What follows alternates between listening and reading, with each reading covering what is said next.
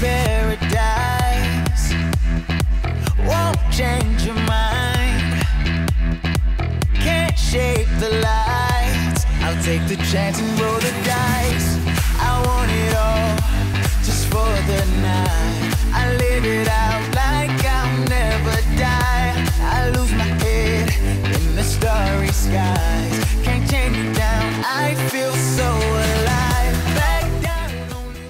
Today's PC build guide theme is one that I've wanted to do for quite some time. And while we've all heard the arguments against silent computing, lol, it doesn't matter if your PC's loud, just put on your headphones. To me, that's about like saying it doesn't matter if your armpits stink, just wear a nose plug. No, I'm not gonna wear protective ear coverings to use my computer. That's ridiculous. Especially given that modern hardware, if configured correctly, can achieve near silence without compromising performance. And that is what we're going to show you today. Welcome to the Near Silent Gaming PC Build Guide. Start by preparing your workspace. A safe, uncluttered, static-free workstation is a must. I use a mod mat and an anti-static ankle strap. Now the only tool we really need for assembly is a multi-bit screwdriver, but a magnetic parts tray, a pair of side cutters, and a pair of needle nose pliers are all nice to have. Now, before you actually start putting stuff into the case, I recommend verifying that the system posts or powers on and outputs to the display. You can use your motherboard box as a free non-conductive test bench. Our CPU choice was all about pushing the limits of silent computing. And the Core i7 5960X 8-core Extreme Edition processor from Intel is the best of the best of any enthusiast-grade chip available today. You could substitute it for a 5820K or a 5930K hex core processor if you don't need the extra two cores, but I wanted to validate this build concept with the hungriest version of Haswell E that we could get, and this is it. Hold your CPU by the edges and identify the corner with the gold triangle. Align that with the corner of the motherboard socket that has a triangle as well.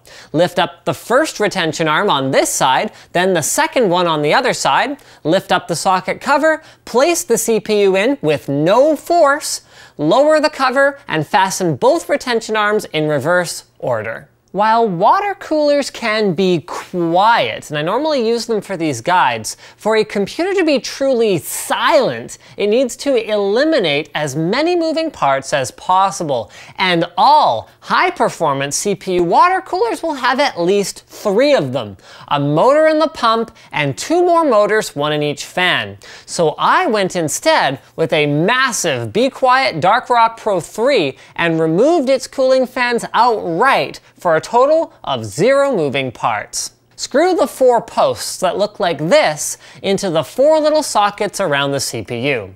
Apply a thicker than normal line of thermal compound to the processor, there's a big die underneath there, then put the heatsink down with the brand logo sideways for slightly better cooling or right side up if you've got a touch of the OCD like I do.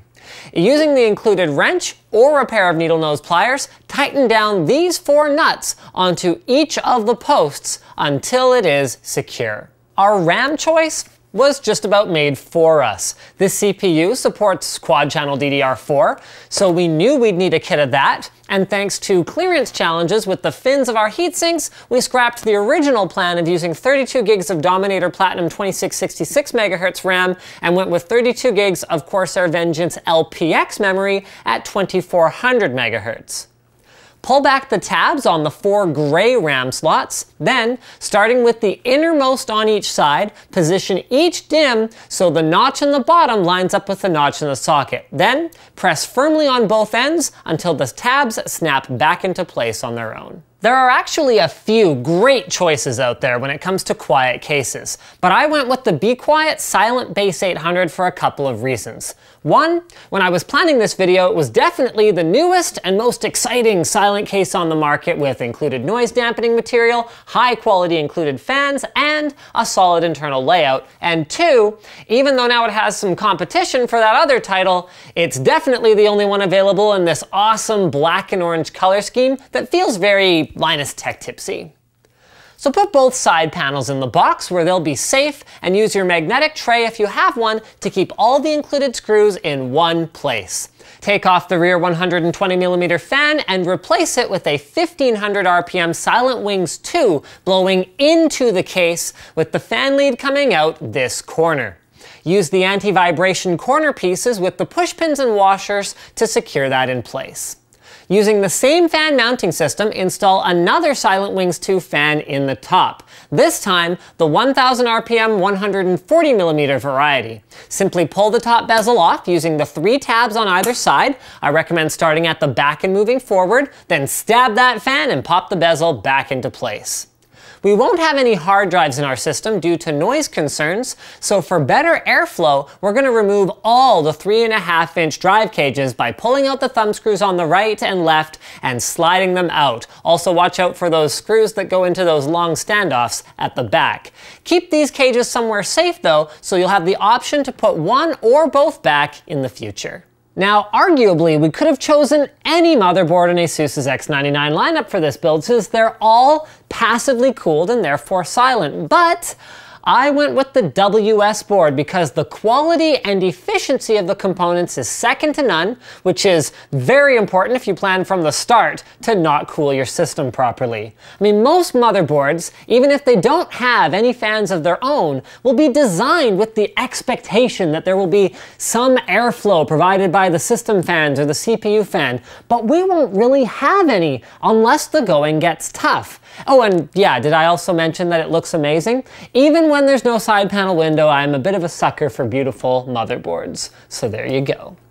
Press firmly on the four corners of the I.O. shield until they snap into place. If you want to save yourself some trouble for later, grab the 24 pin and 8 pin motherboard connectors from your power supply box, plug them into your board like so, then feed them through these holes.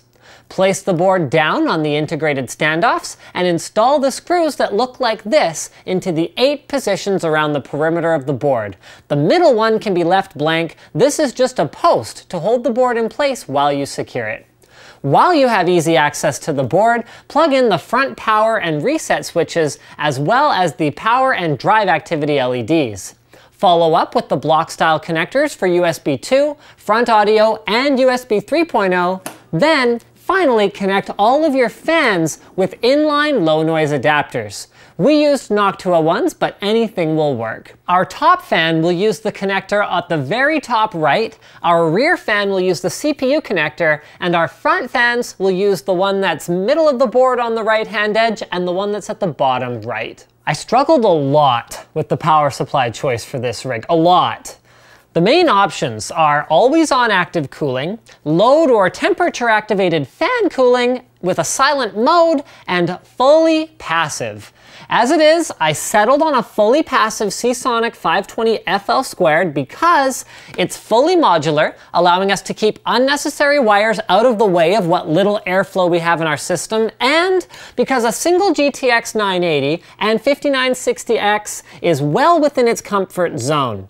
If you decided to add a second graphics card to your build though, you may want to consider going with a hybrid fan model so you keep that silence when the system is idling and the fan only kicks in when the power supply is working hard. Slide the power supply in grill side up for better cooling and attach it to the case using four of these screws.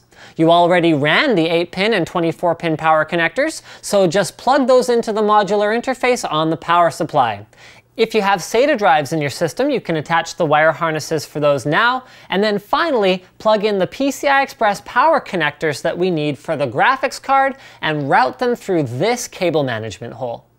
Our SSD choice was one that honestly I made to make our PC more Mac Pro-like. I mean, SATA drives are still fine, and you can mount them to the back of the motherboard tray, but we figured, hey, we're dead quiet already, we might as well have lightning fast PCI Express-based storage while we're at it with no clutter due to SATA data or power cables. This is the Mushkin Scorpion, a PCI Express 2.0 2X expansion card that boasts an onboard RAID controller, two SandForce-driven 480 gig SSDs, 100,000 4K random write IOPS, and sequential read and write speeds just shy of one gigabyte per second. Oh, and all of this comes in at a price that's less than a dollar per gig.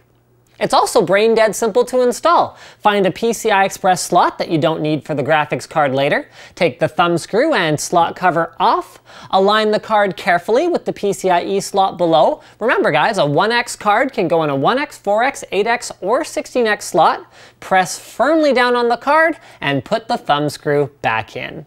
The GPU for this build guide, since it's more of a how to buy a silent yet extremely powerful PC rather than being strictly about gaming type of video, is kind of up to you. But I chose a single GTX 980 Strix from ASUS because it features a fanless mode when running 2D applications at the desktop, and the fan only kicks in when the graphics card is working hard, just like the case fans that are plugged into the motherboard.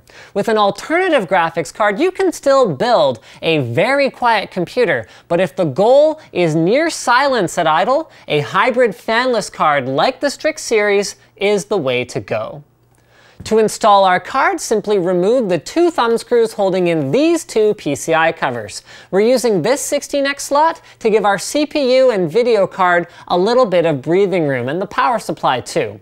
Then align the card carefully with the slot, push down firmly, put the two thumb screws back in, and plug in the PCI Express 6-pin and 8-pin power connectors that we cable managed earlier which leads nicely into cable management and finishing touches. At the back, you can see we've run so few cables for this system that it's almost laughable how little there is to clean up back here. Uh, just use the zip ties included with the case and the power supply to route the front fan connectors up so we can't see them.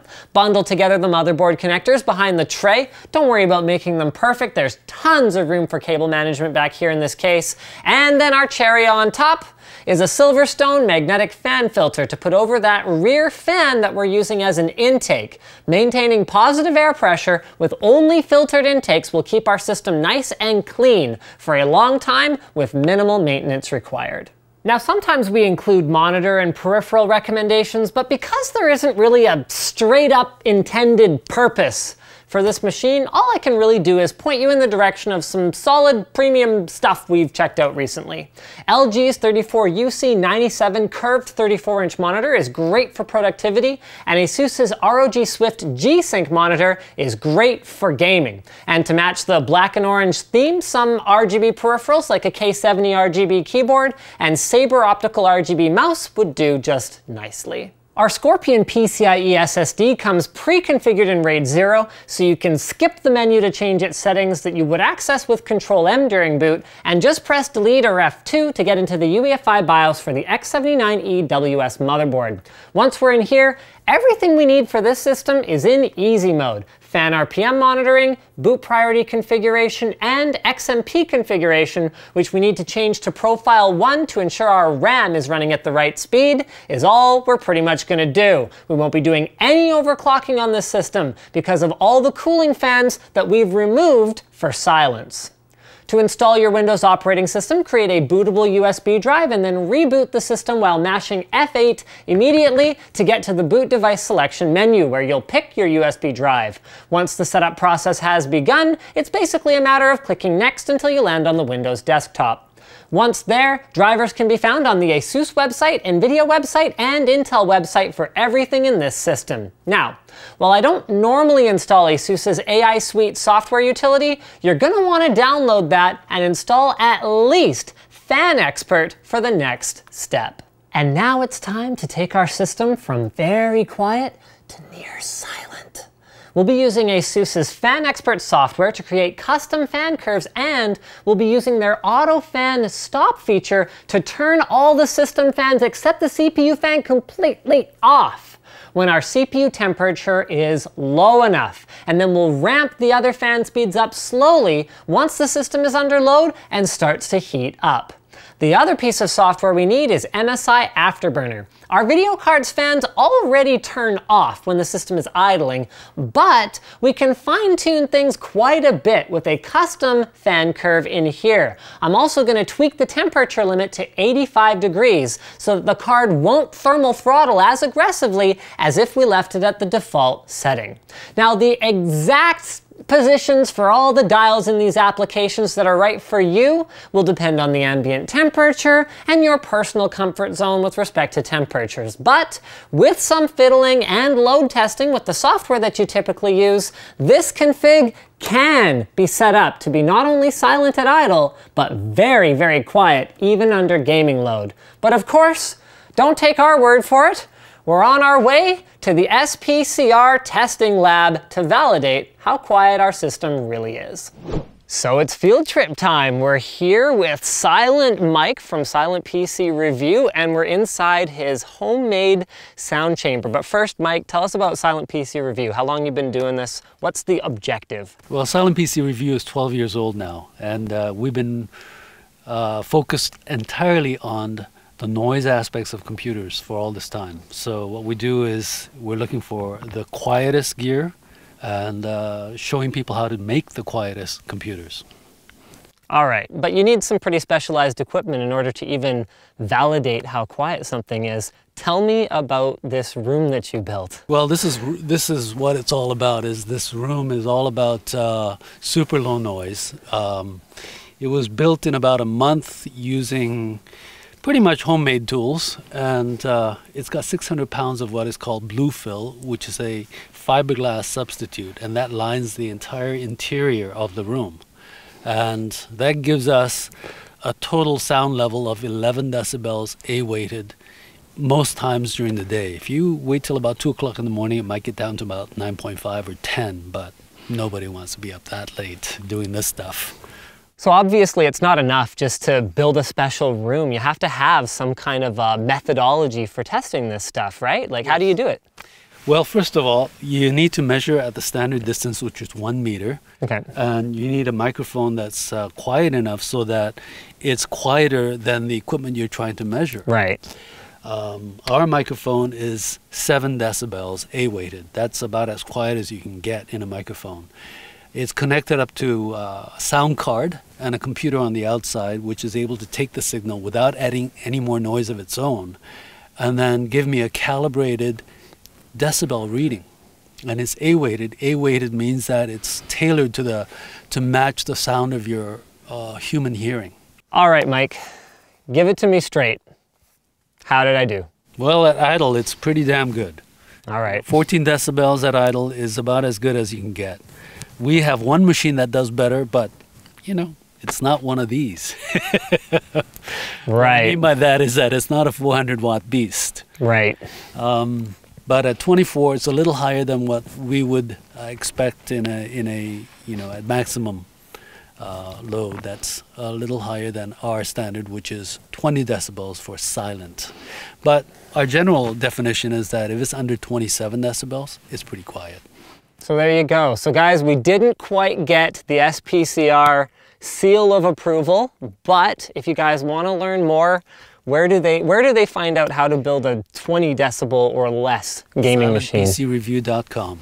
That's where you come to. All right, so there you go, guys. Thank you so much for watching our, our ultimate, I guess I have to call it ultimate very quiet PC build guide now that I've got the real skinny on how well we did. Um, guys, I guess you can enjoy some glam of our finished system here. And uh, as always, huge thank you to the entire crew involved. Big thank you to Intel for sponsoring this PC build guide. And uh, we'll see you guys again next time. Make sure you're subscribed and all that good stuff.